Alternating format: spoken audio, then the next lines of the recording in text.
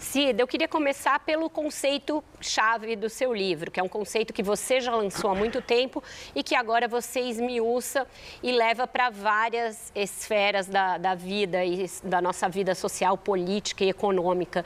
Do que se trata o pacto narcísico, que você diz da branquitude, e de que maneira você acha que ele ajuda a perpetuar uma situação de iniquidade racial que é, a gente vive aqui no Brasil?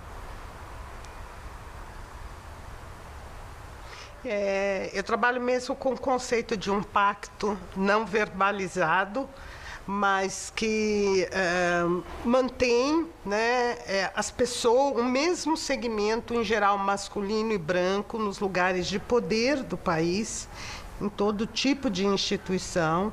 Não é um acordo, não é uma coisa combinada. Né? É, e eu sempre digo isso, acho bem importante dizer que não é que as pessoas se encontram às 5 da manhã para combinar, mas nas diferentes instituições você tem o mesmo perfil de pessoas liderando e liderar significa tomar decisões que influenciam o país, porque não só são empresas, são organizações públicas, organizações da sociedade civil.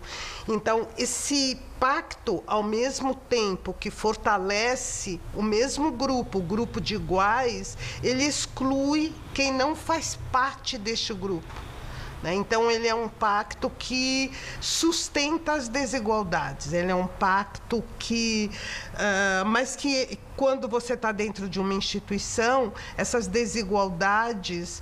É, que são criadas nesse contexto do pacto narcísico, do pacto da branquitude, uh, são tratadas como mérito. Então, se este grupo está na liderança das grandes instituições é porque tem mérito.